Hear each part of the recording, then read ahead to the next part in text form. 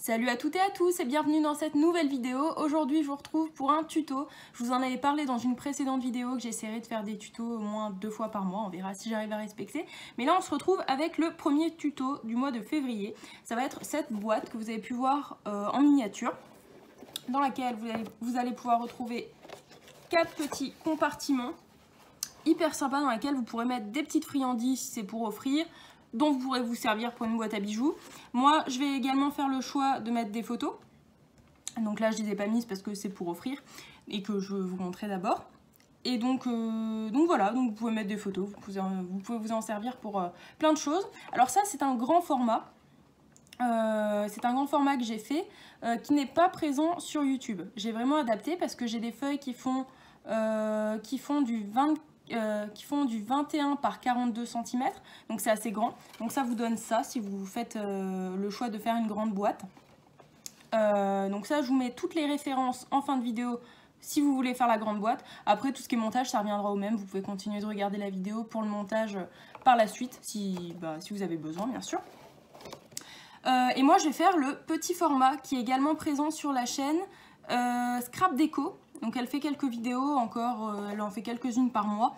Moi je l'avais, euh, je la suis pas particulièrement mais j'avais déjà euh, sauvegardé son, tuto en playlist parce qu'il me plaisait. Puis là j'avais l'occasion de, pouvoir le faire. Donc si vous regardez, elle son tuto c'était avec une feuille, je pense que vous pouvez faire ça avec une feuille ben, de chez Action quoi, 30 par 30 parce que ça c'est une base 15 par 30. Et moi j'avais fait une base pour la grande de 21 par 42. Donc vous faites euh, en fonction de ce que vous voulez. Je vous mets tout de suite les dimensions. Je vous mets la feuille, vous pouvez faire un screen. Vous pourrez continuer d'égoûter après. Euh, vous pouvez faire un screen, euh, ça vous permettra d'avoir toutes les dimensions et je vous conseille fortement de faire toutes les découpes nécessaires à l'avance. Pourquoi faire toutes les découpes? Parce qu'après ça, va être, ça va être embêtant et puis au final bah, c'est assez fastidieux. Moi j'ai mis 20 minutes à faire toutes les découpes. Et puis bah, là au moins vous avez tout à plat. J'ai essayé de vous indiquer euh, ben, quel truc vous pouvez faire de tel, enfin pas forcément de la couleur que je vous ai indiqué, mais euh, ben, quels éléments vous devez faire de la même couleur en fait. Parce que moi je me suis retrouvée surtout embêtée euh, face au tuto de Scrap Déco. Parce que je ne savais pas lesquels faire de la même couleur, donc j'ai dû un peu cogiter. D'autant plus que moi je changeais de format, donc j'ai dû faire pas mal de conversions. donc je vous l'ai déjà dit je crois, les conversions, vous les trouvez à la fin de la vidéo. Euh, vous avez juste aller à la fin et puis euh, vous pourrez faire pareil un screen. Vous ferez euh, bah, en fonction de, ce qui vous plaît le plus. Donc moi, je me penche sur celui-là. Donc je vais éloigner la grosse boîte. Comme ça, on va pouvoir se concentrer sur ça. Là, j'ai un papier de 15 par 30 cm. Donc j'espère que vous l'avez avec vous. Moi, j'ai déjà fait les découpes. Enfin, les découpes, les pliages plutôt. Euh, alors les pliages, vous devez les faire, euh, vous devez les faire à 5,9, à 11,8, à 17,7, à 23,6. Voilà, donc tout est indiqué sur la feuille que je vous ai mis en début de vidéo. Une fois que vous avez cette base, vous allez la décorer. Je vous avais mis euh, les dimensions du papier déco pour, bah, pour le support. Donc les dimensions du papier déco, c'est 5,5 par 14,5. Il fallait faire 10 feuilles et je vous avais conseillé de faire deux couleurs différentes, histoire que vous puissiez avoir une couleur à l'extérieur et une couleur à l'intérieur. C'est toujours plus sympa. Après, si vous vouliez faire... Euh, voilà. Je vous laisse faire comme vous voulez, mais moi je trouve que c'est quand même plus sympa. Voilà, donc moi j'ai toutes les, feuilles de mon côté. J'ai repris les mêmes coloris pour la bonne et simple raison que j'avais des chutes et que le but c'est aussi de les consommer, de faire un minimum... Euh, de gaspillage. Donc euh, je vais les coller tout de suite et puis on se retrouve euh, bah, dès que je les fais. Voilà. Alors là vous avez pu remarquer, euh, j'y ai pas pensé, sur moi j'ai repris ni plus ni moins que les mesures de scrap déco et si vous voyez il y a un, bah, un petit peu trop de marge donc je vais vite fait prendre un ciseau je vous invite à faire de même, à couper directement bah, ce qui est en trop, hein, parce qu'au final ça servira un peu à rien. Vous pouvez faire ça au Mexico. Hier, je l'avais fait au Mexico pour mon grand format. Bon, là, le petit format, ça va, c'est jouable. Voilà. Donc là, c'est fait. Vous avez vos décorations de part et d'autre. Bon, vous mettez euh, ce que vous voulez euh, en intérieur ou vous pouvez faire en extérieur, comme ça, comme vous voulez. Vous faites comme vous voulez. Euh, attention cependant si vous utilisez du papier de chez Action. Là, moi, j'ai une base de canson Du coup, ça passe, je peux me permettre de faire ça. Euh, après, faites attention avec du papier de chez Action, ça se déchire très facilement. Donc là, on a la base de ce que j'appelle la tour, ou euh, de notre boîte. Enfin, voilà, vous voyez ce que je veux dire. Ensuite, on va s'attaquer à faire euh, nos petits récipients, enfin nos petits carrés, dans lesquels vous allez pouvoir mettre vos bijoux ou vos friandises, c'est comme vous voulez. Donc là, on a des carrés, on a des carrés de 15 par 15 pour faire les boîtes. Et on a un carré de 18 par 18 pour faire le couvercle. Donc on va faire le couvercle d'abord. Je vais vous montrer comment on fait. De toute façon, on procède de la même manière que ça soit pour euh, le couvercle ou pour les petites boîtes à l'intérieur. En fait, ça revient au même. Donc je vais juste enlever ça, histoire que je puisse faire à peu près droit. Alors vous, si vous avez une grande règle, c'est mieux. Euh, moi j'ai une règle qui n'est pas assez grande, tout simplement. Euh, donc je vais le faire à la main. Quoique, je peux faire ça comme ça, en fait. Je viens seulement d'y penser. Des fois, on pense, on pense aux choses seulement en faisant le tuto, en fait. Hop. Comme ça, je vais pouvoir faire plus droit. Bon, même si hier, j'ai fait, euh, j'ai fait un peu, euh, un peu comme je pouvais. Puis au final, ça, ça a fonctionné. Hop. Vous allez tracer, comme moi, deux traits qui vont relier euh, les petites pointes extérieures vous allez faire ça pareil de l'autre côté. L'enjeu va être tout simplement de trouver le milieu. Hop, je vais me caler sur mon truc là. Hop. Et une fois que vous aurez trouvé le milieu, ça nous permettra de faire tous nos pliages. Voilà. On est bon. Là, comment vous allez faire? Vous allez prendre votre pointe. Une fois que vous avez pris votre pointe, vous allez la rabattre vers le centre. Et une fois que vous avez fait ça, vous allez reprendre le bout que vous avez à l'extrémité et vous allez le rabattre sur votre ligne que vous avez tracée tout à l'heure au crayon de papier. C'est pour ça que c'est aussi important que ça soit droit. C'est pas que pour trouver le centre. C'est pour que votre carré soit un maximum carré. Voilà. Donc là, vous avez fait une fois. Vous allez faire ça tout autour. Et une fois que vous avez fait euh, ça tout autour, on va se retrouver et puis je vous indiquerai à quel endroit il faut euh, bah, couper pour pouvoir euh, faire nos pliages. Je vous retrouve tout de suite.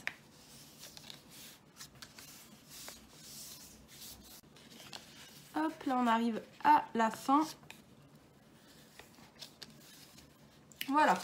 Donc là vous vous retrouvez avec un espèce de quadrillage qui j'espère ressort bien, ce qui n'est pas forcément le cas. Je vais essayer de mettre comme ça vous avez un quadrillage. Alors, je vais essayer de faire... Ouais, là, ça passe un petit peu mieux. Donc là, vous remarquez, vous avez un carré au milieu. Vous allez prendre deux côtés de part et d'autre et vous allez couper cet endroit-là, couper cet endroit-là, couper celui-ci et couper celui-là. L'enjeu, c'est juste de ne pas couper cette ligne au milieu. Vous imaginez une petite ligne imaginaire en laissant les deux carreaux du centre et vous couperez de part et d'autre, donc à ces endroits-là en gros. Je ne sais pas si ça ressort assez bien à la caméra, mais c'est ces endroits-là que vous allez couper.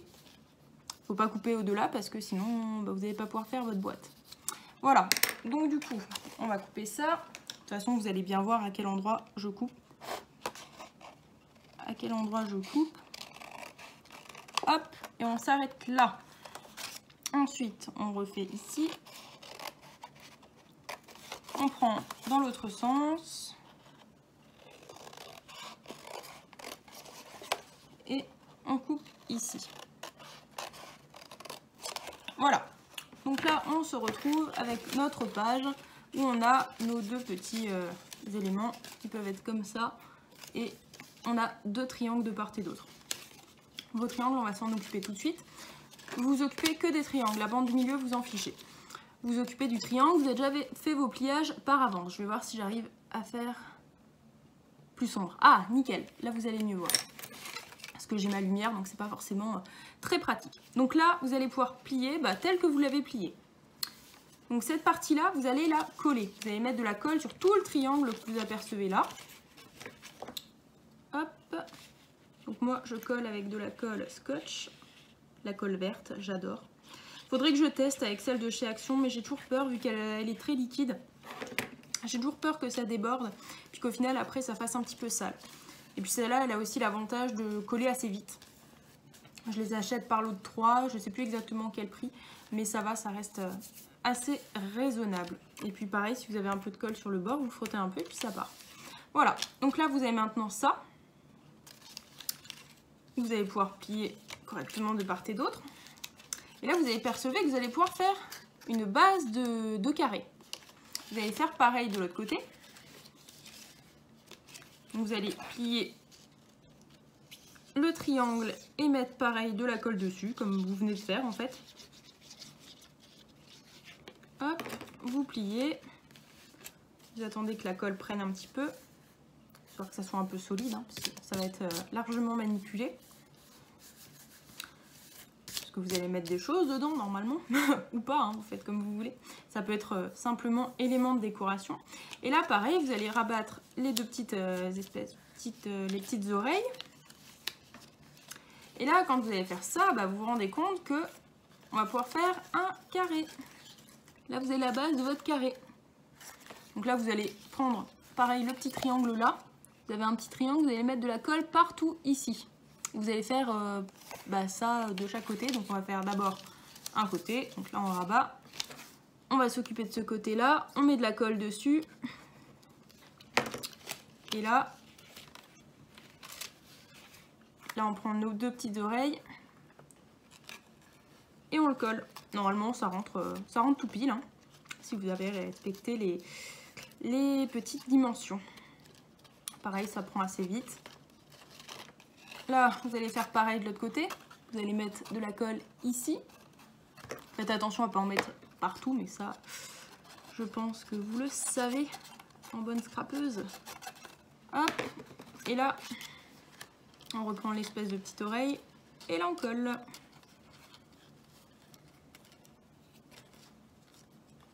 Bon, faut attendre que ça prenne un peu. Après, c'est pas très grave. Si euh, sur ces deux petits triangles là que vous venez de, coller, s'il n'y a pas beaucoup de colle, parce qu'on va rabattre tout ça. Donc au final, euh, c'est pas bien grave. Là, vous allez pouvoir mettre de la colle sur tout ce qui reste. Ou là, vous pouvez y aller euh, assez généreusement. Bon, pas trop non plus parce que sinon ça va tout déborder. Et là, vous allez remonter. Vous avez vos restes de pliage de tout à l'heure.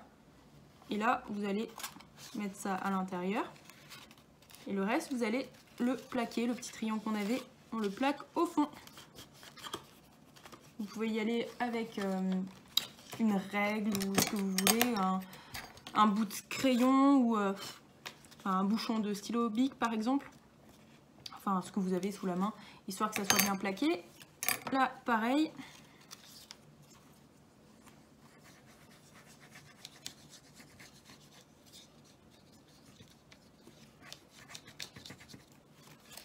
Hop. Tout ça. À chaque fois, moi, j'insiste un petit peu au niveau du pli. Comme ça, on est sûr que ça, bah, que ça rentre bien solide. Et puis après,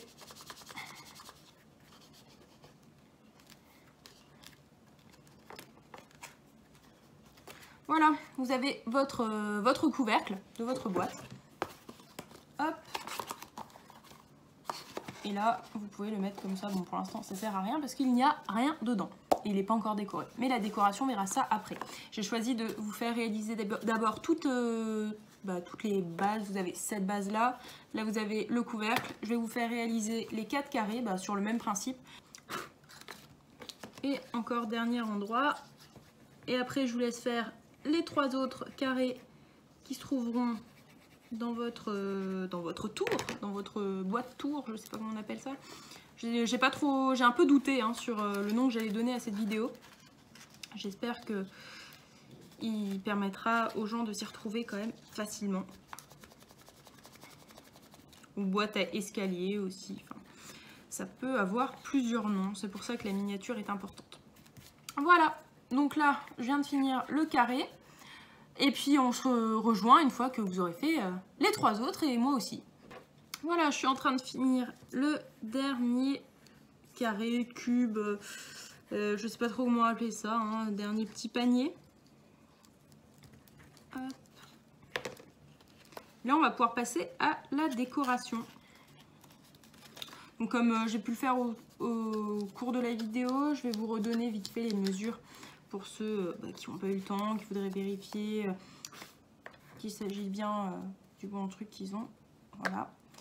Hop, ils sont tous faits. On va commencer par décorer le gros truc. Normalement, c'est assez simple puisque vous avez quelque chose de la couleur de votre extérieur. C'est-à-dire ça.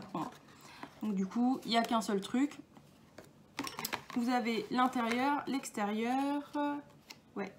L'intérieur, j'ai choisi de le faire d'une autre couleur. J'ai fait ça avec mes chutes. Donc moi, j'ai choisi de faire l'intérieur de ça. Il va venir se positionner à l'intérieur. Hop. Donc, euh, je vous ai pas donné les mesures pour le petit format. Euh, l'intérieur, euh, l'intérieur de la boîte, il fait 5,5 par 5,5. Et je vous ai indiqué que vous pouvez euh, le faire avec les restes ou un papier blanc ou ce que vous voulez. C'est pas important parce que vous n'allez pas beaucoup le voir au final. Hop. Voilà. Donc ça, c'est collé. Ensuite, l'extérieur. L'extérieur faisait du 6,6. Euh non, du 6 par 6. Autant pour moi. 6 par 6. Hop.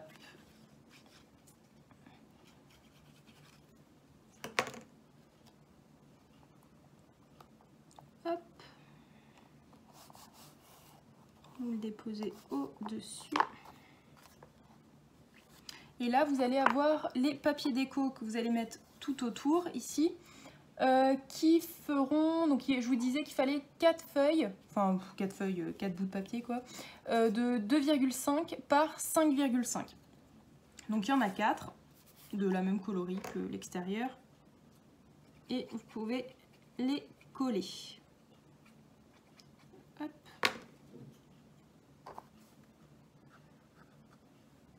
N'hésitez pas à mettre, euh, si vous avez une colle un petit peu longue à, prendre, n'hésitez pas à mettre des, pinces, hein, euh, des pinces à linge, des... moi j'en ai quelques-unes en bois chez mes parents, que je n'ai pas ici forcément, particulièrement euh, utile. voilà. Bon, au final avec cette colle là, j'en ai pas tant besoin que ça. Donc dans cette vidéo, vous aurez seulement le petit format. Je vous ai donné toutes les informations pour euh, le grand format, c'est le même, euh, le même principe. Hein. Je pense que certains d'entre vous auront bah, repris le tuto euh, en cours. Bien sûr, toutes les données que je vous donne à chaque fois ne sont pas bonnes si vous avez fait le grand format, mais ça vous vous en doutez. C'est possible que je vous fasse quand même un petit truc la, prochaine fois si j'en refais un si j'en refais un grand c'est possible que je le fasse avec vous et que je le publie sur YouTube c'est vrai que moi c'est quelque chose que qui me dérange pas on va dire Pareil, je ferai toutes les découpes à l'avant, je vous donnerai euh, les informations au fur et à mesure. Et puis on collera ensemble hein, finalement, parce qu'à la fin, euh, c'est quand même un... C'est pas compliqué, c'est surtout un gros travail de découpage avec beaucoup de papier. Parce que c'est vrai que ça consomme pas mal de papier. Euh, d'autant plus si vous prenez le grand format. Mais bon, après, c'est pas, pas exactement la même chose. Mais du coup, ouais, je vous disais, c'est surtout du découpage et puis euh, bah, beaucoup de collage. Après, il faut avoir une colle qui soit prête à coller tout ça. Quoi. Moi, j'ai consommé un tube hier. Donc là, vous avez le haut, on va le laisser sécher tranquillou. Et là, ensuite, on va passer au petit carré. Donc, vous avez les intérieurs qui sont à l'intérieur des boîtes 5 par 5. Donc, c'était avec les restes. Moi, j'ai choisi de faire avec cela, mais on s'en fiche un petit peu. Hein. Enfin, c'est pas Pareil, ça sera pas très visible. Après, je vous incite quand même à mettre euh, les quatre mêmes euh, fonds de boîte de la même couleur, mais c'est pas c'est pas un drame si euh, c'est pas la même chose ou si c'est des tons un petit peu différents. moi, je trouve que ça se voit pas beaucoup. Après, c'est sûr que on est quelques-unes à bien aimer quand c'est tout harmonieux, tout bien, voilà. Mais après, je pense que ça jure pas honnêtement ça vous évite de gaspiller trop de papier aussi. Hop. Vous voyez, c'est tout simple. Même pour, euh, même pour les fonds à mettre, ça va vraiment tout vite. Hop. Vous collez à l'intérieur. Et puis après, bah là, vous allez coller tout ce qui est extérieur et les décos extérieurs, il y avait 12, euh, bah, bouts de papier, encore une fois, euh, de 5 cm par 2. Donc moi j'ai choisi de reprendre le même papier que pour ma grosse boîte, que vous avez pu voir en miniature. C'est un papier avec des feuilles un petit peu dorées. Et moi je trouve que c'est super chouette. Ça ressort bien évidemment pas beaucoup à la caméra puisque je tourne cette vidéo le soir. Mais bon, ça fait l'affaire quand même.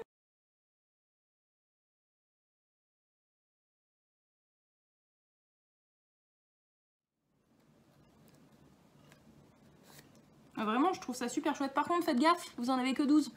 Donc euh, ça, vous allez le coller, donc vous n'avez pas besoin de des restes de colle. Vous n'avez pas besoin de, bah, mettre de, décoration dessus. Faites bien attention parce que sinon, ça serait un peu... Vous, vous allez devoir recouper en fait 4, euh, morceaux pour votre dernier cube. Puis ça sera un peu nul parce que au final, c'est du papier qui sera caché. Et voilà, on arrive à la fin de tous ces collages et on va pouvoir mettre ça sur, euh, votre support de boîte qui est prêt maintenant depuis le début. voilà.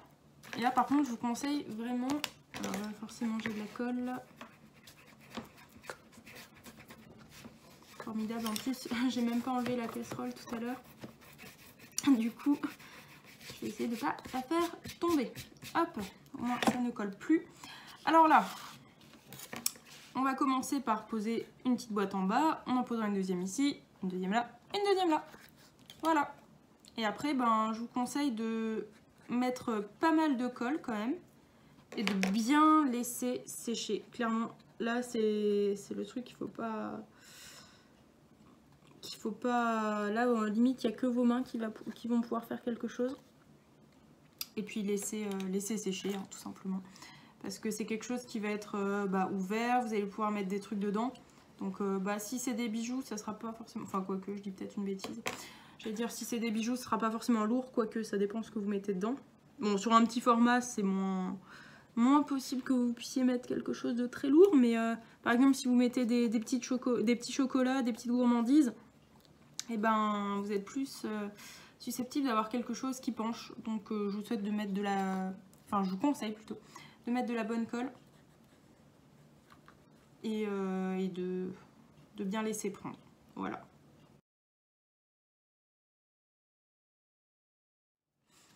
Voilà, on laisse sécher puis je vous montre tout ça juste après. Bon, je retrouve maintenant que la colle a bien pris. Euh, bah, je vais pouvoir vous redresser un petit peu la caméra, comme ça on va pouvoir se voir. Hop là Vous excusez le bazar derrière parce que j'ai tout un tas de projets qui sont en cours. Euh, j'en ai parlé d'ailleurs un petit peu sur ma page. Et puis là, je vais pouvoir vous montrer comment ça rend. Voilà. Hop. Hop. Le petit couvercle. Et puis, on a fini. Voilà. Donc du coup, là, vous pouvez décorer, faire ce que vous voulez à votre guise. Et puis, euh, puis bah voilà, j'espère que ça vous a plu, hein, parce que du coup là je regardais pas au bon endroit, mais j'espère que ça vous a plu quand même.